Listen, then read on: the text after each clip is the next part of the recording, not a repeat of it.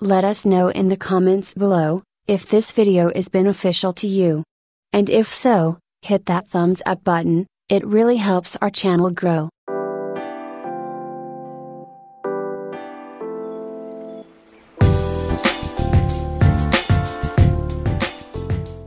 Why there is an extra finger for those people? Is it a disease to have extra finger in hand or feet? What is the disease name? Can we remove that finger with some surgery? Don't worry, we'll explain all this in this video. Having six fingers is called as polydactyly. This extra finger is only a muscle and it doesn't contain any bone. In general all people have five fingers in the hand but I have observed that some people have six fingers in the hand or in their feet. Most of the time, these fingers are non-functioning and commonly found on the side of little finger. Sometimes it is seen at the side of the thumb too. It is considered as very common birth defect and many times the problem is seems to be hereditary.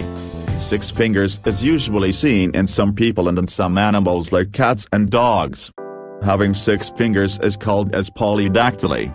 This extra finger will just be a muscle and contains no bones in it. It is a soft tissue. Extra finger usually appears with one's genes. Having an extra finger in hands and toes is not any disease. This doesn't harm you in any ways. If a person wants to remove this finger, doctors do a minor surgery to remove this extra finger. Even without removing extra finger, one can sustain throughout life as there is no harm. These can't be much of an issue for everyday life. Many people are out there with sixth finger and they are doing just fine with it. Some do surgery and some keep it as it is. There is no lifestyle issue and if there is any it could be dependent on how the fingers are arranged without extra growth.